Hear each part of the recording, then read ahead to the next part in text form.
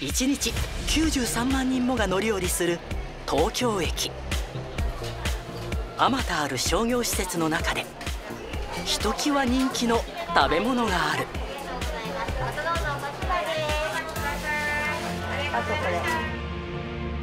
ヒレカツサンドだ。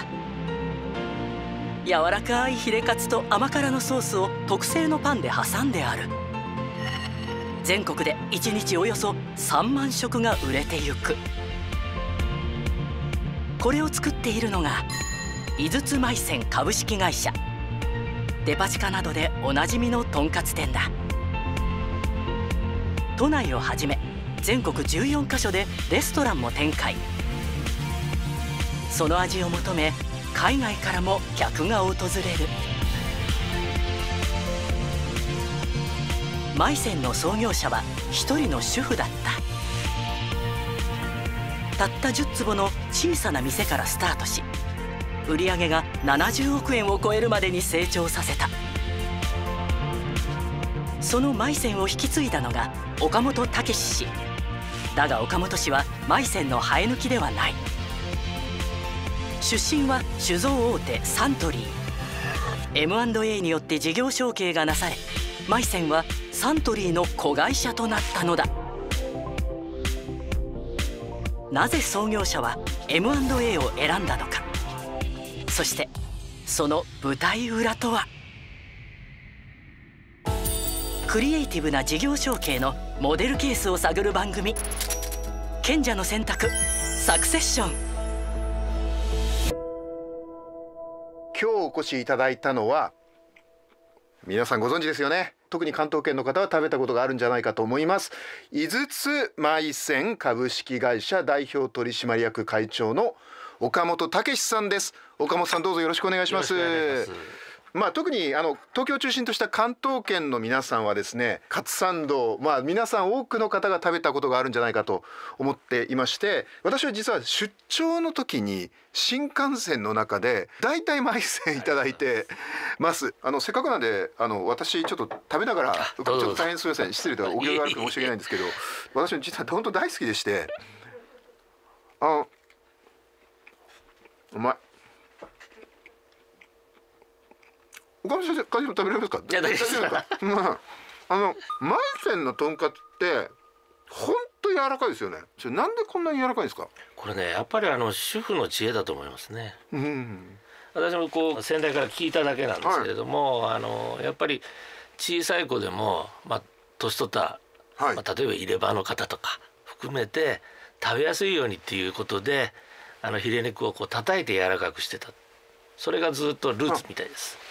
じゃあもう創業の小出千代子さんが誰にでも食べられるようにして柔らかくしたんですか？そうですね。とんかつっていうのはある程度こうやるんですけれどもそれを徹底的にやったのが彼女。そしてこれ私実は今日初めて知ったんですがこれポケットサンドっていうのがあるんですね。はいはい。その、はい、あの卵をちょっと挟んでます、ね、はいはい。これ昔多分私が来るだいぶ前に一回やったことあるらしいんですよ、はい、ああの岡本さんが社長になられる前に。はい、はいはい、でそれからもう一回リバイバルさせてですね。はいで今そういうあの井筒門とかですね。で今レーザーが開発されまして、ね、はいはい、レーザーがこう印刷できちゃうんです。そうなんですよ。というわけでこちらはこれ今マイセンさんの、えー、マークがついてるんですがなんと今回ですねじゃじゃんと。これ実はね賢者の選択っていうふうに印刷してくださってるんですよね。こんなことできるんですね。ありがとうございます。企業の例えば周年とか、はい、学校のほら卒業式はいはいとかで学校のその、えー、交渉っていうんですかね。あ学校の交渉をここに印刷して、はいはいはい、そういうのが今徐々にですけどへオファーが来ております。これでも逆にもったいなくてなんかちょっと食べられないですよねというわけで今までの賢者の選択はですね比較的いわゆる同族企業というか例えばお父様がやってた事業を息子さんが継ぐというパターンの事業承継がほとんどだったんですが今回岡本さんは外からいらっしゃって事業承継をされたということでこれ知らない方もまだ多いと思うんですがマイセンはサントリーさんのあれなんですよね。M&A 事業買収をしてそこで岡本さんがサントリーからやってこられたと、はい、サントリーの100%のグループ会社です。なんですよね。だからもともと岡本さん実はサントリーの方でいらっしゃったと、はい、ちなみにあのこちらが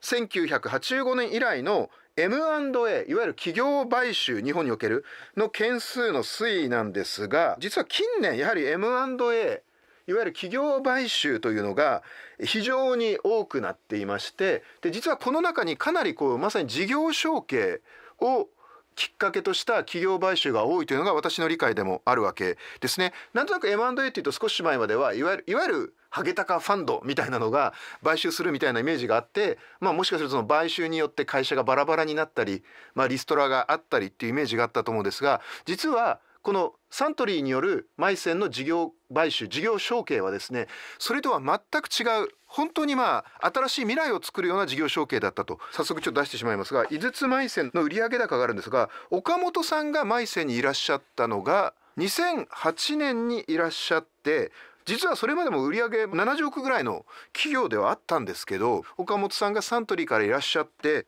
コロナがあったんでねこの2020年から若干当然ながらあの足踏みではあるんですがそれまでですね120億超えの、まあ、売上倍増ですよね。会社にまあ十数年で育て上げられたと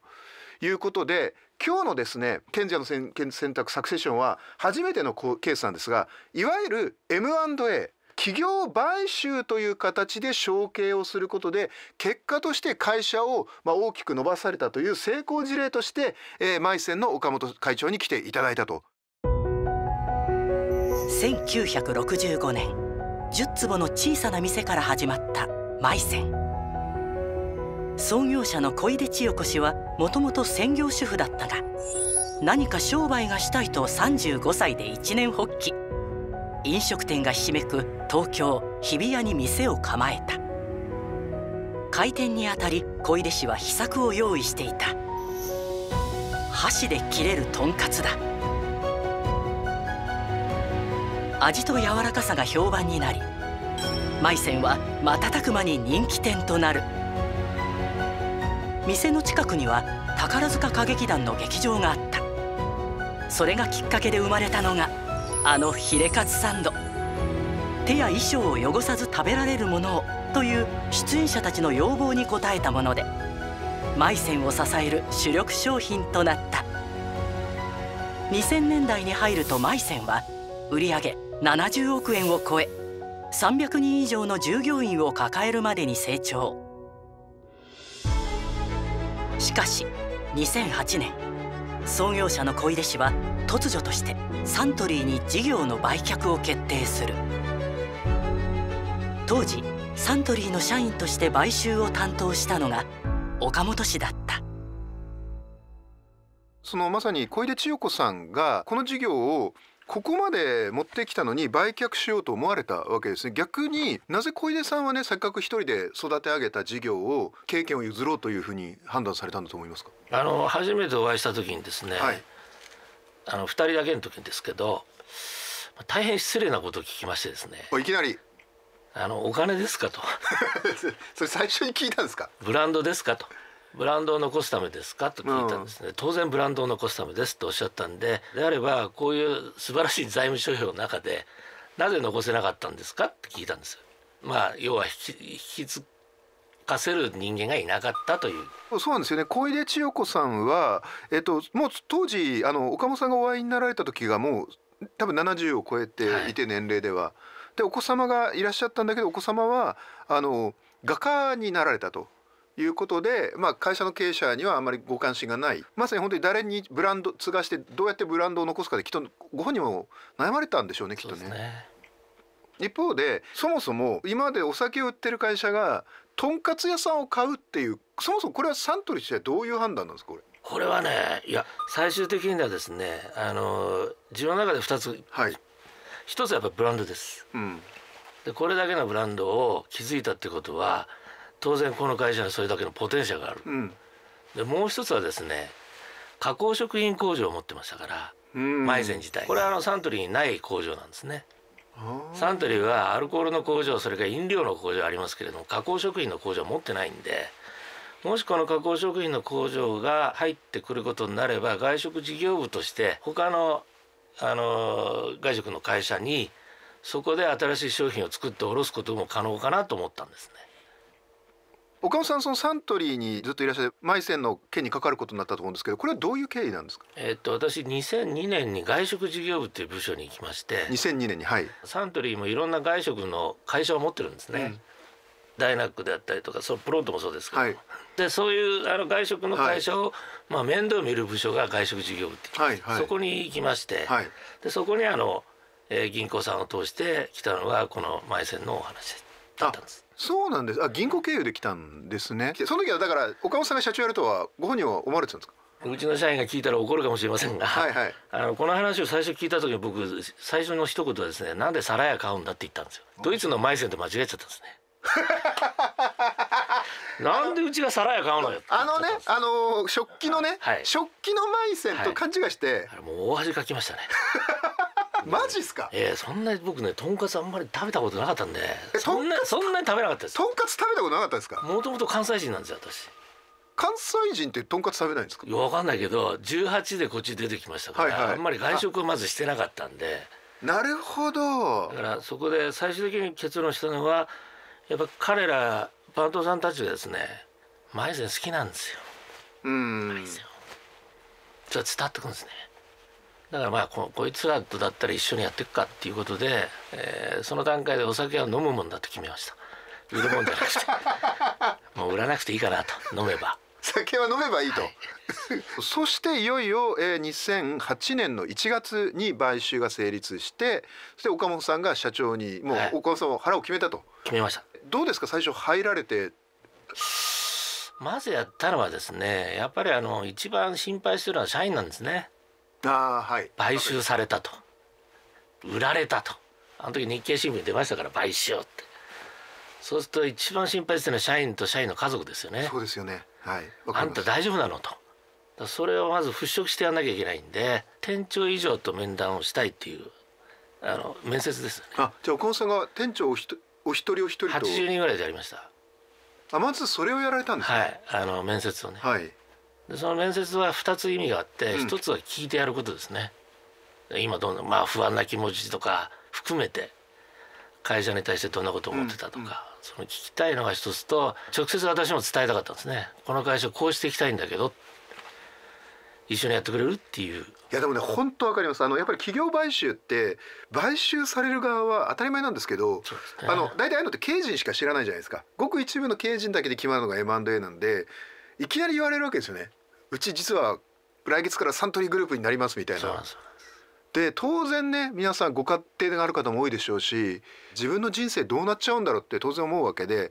じゃあそこのこう不安を取り除くみたいなそこから入られたわけですね。そこでしたねまずやっぱりあの宝ですからね。うん。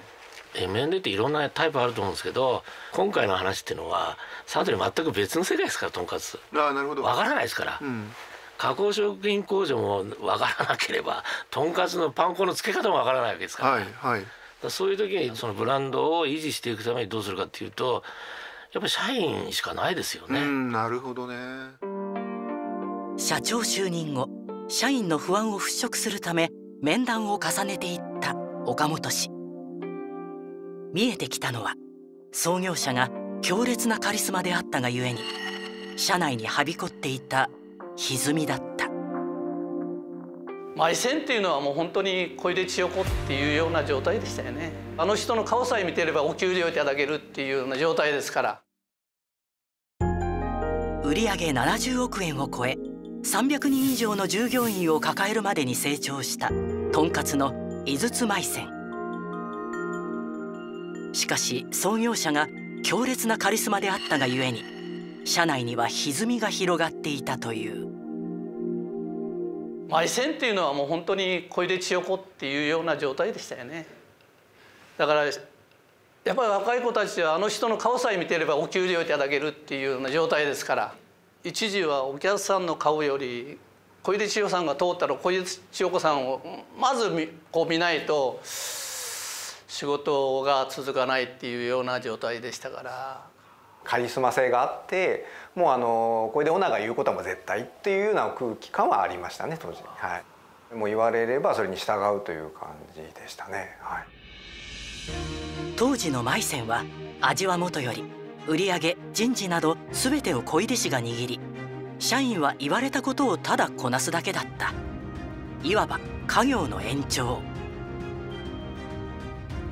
経営を引き継いだ岡本武氏はマイセンを企業として生まれ変わらせるべく動き出した。家業から企業へ。その思いの強いオーナーさんがいらっしゃって社員がそれにつずっと、まあ、ある意味も猛従してきたと思うんで当時は相当大変だったんじゃないですか？大変だったですね。一番わかりやすいのは現場に売り上げしか追いあの売り上げだけを追わせるんです、はい、例えば店舗っていうのは店舗の店長っていうのは売り上げとですね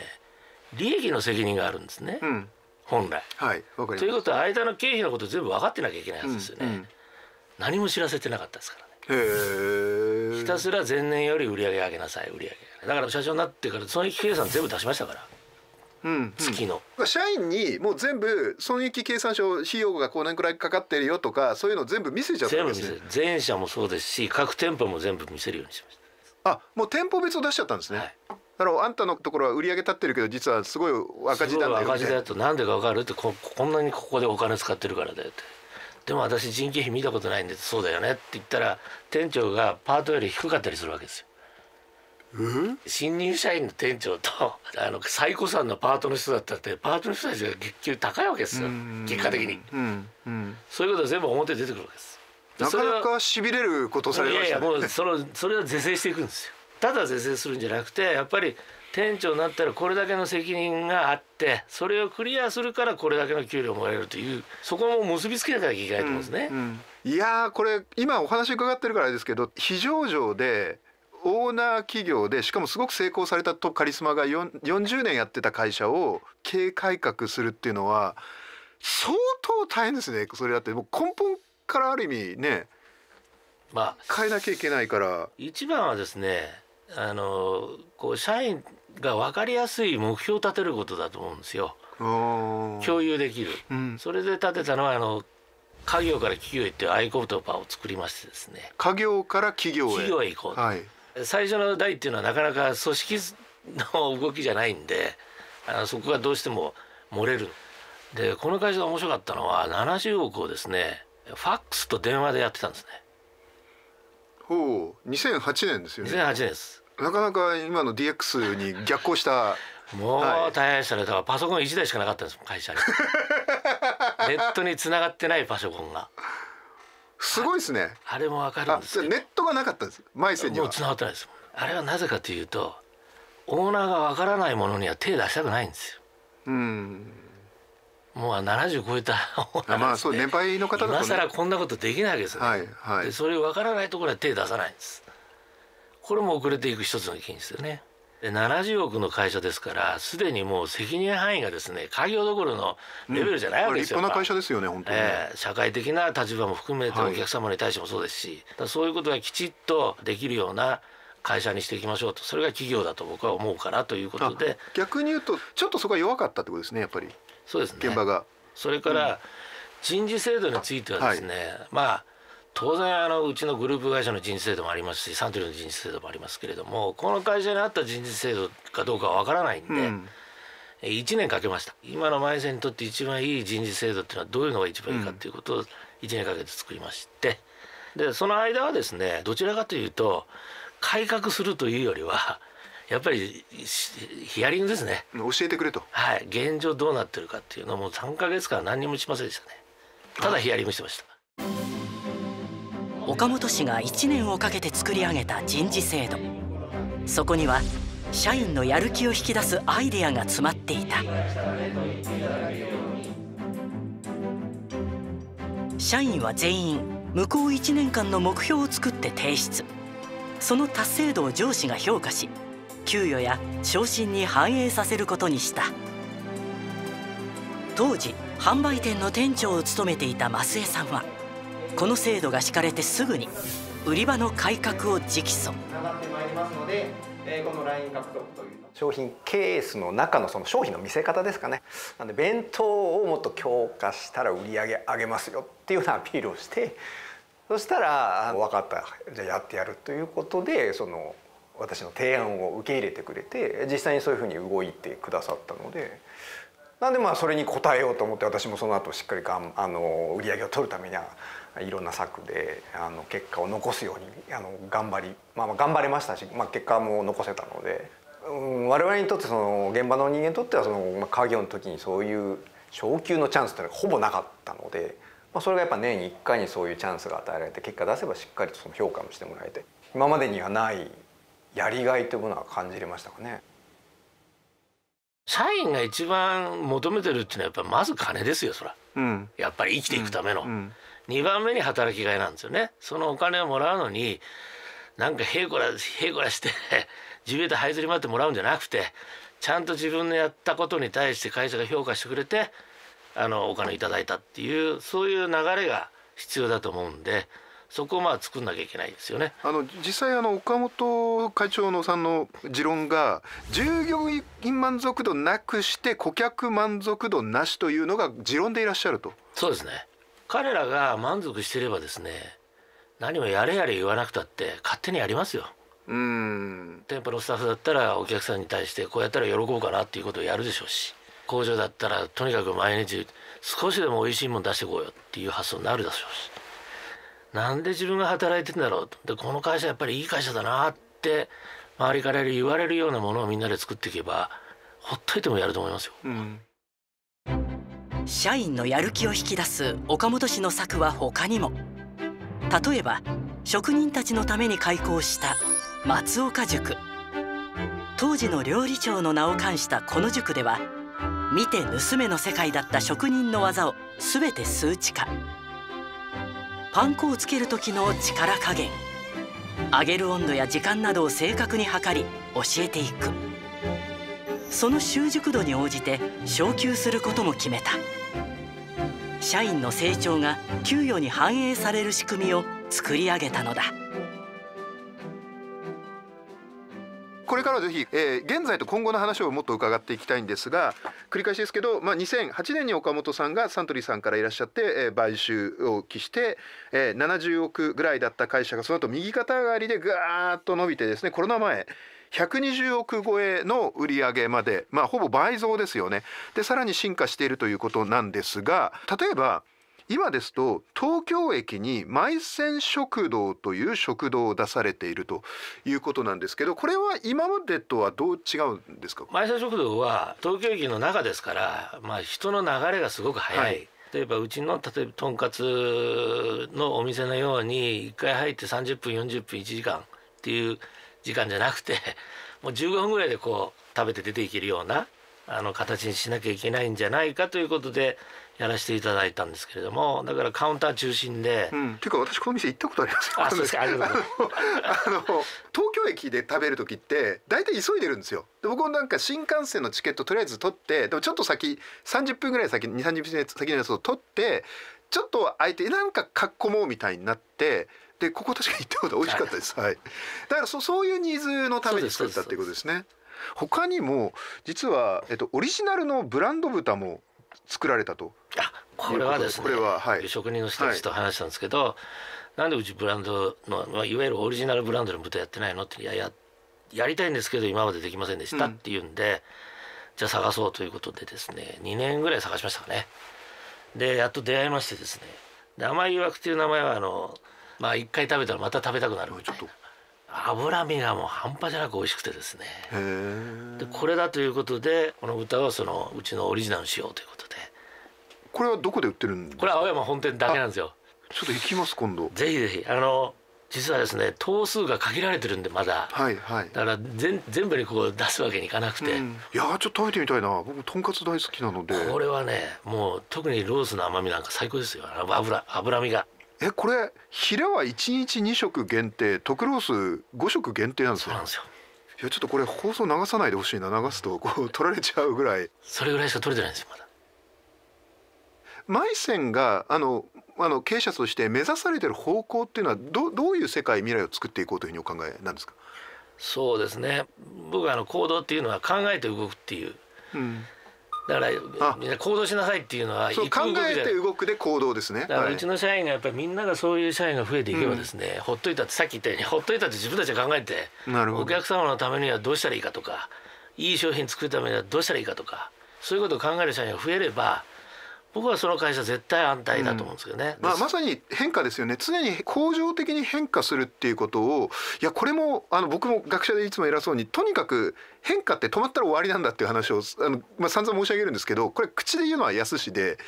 で特に多分オーナー企業さんでいらっしゃったからあのトップがグーッとやることで硬直したと思うんですよね。それだから多分まず岡本さんは従業員とか現場の方も含めて恒常的に変化できるような会社に変えていったそそういう会社であってほしいってことなんですね。あってほしいですね。2022年4月岡本氏は会長に就任社長を同じサントリー出身の国広勝秀氏に譲った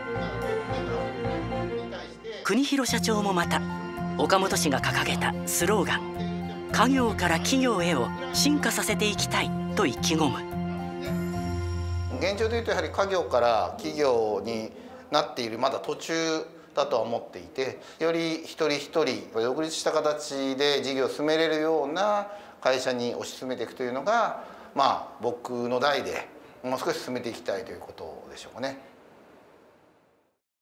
多分今日岡本さんの話を伺って多分日本中のいろんな事業承継考えられてる方があこういう選択肢もあるのかっていうふうにしてすごく勇気づけられたと思いますし逆にいわゆる大手企業の方とか中堅での方でそういった会社をなんか買収することもお考えの方々にもすごいヒントがあったと思うんですね。あの改めてなかなか一言ではいないと思うんですけどこの岡本さんがその十何年このマイセンを成長させてきた時に何が事業承継大事にしてきたこれがポイントだよねっていうのは何かありますか、えー、会社ってですねやっぱりトップと社員との信頼関係だと思うんですね。その信頼関係っていうのが同じ目標を共有できるかとかそういういろんな要素の中で生まれてくると思うんですけれどもそれを作るのが一番大事かなっていうふうに思います。みんな不安ですからその不安を取り除いてあげて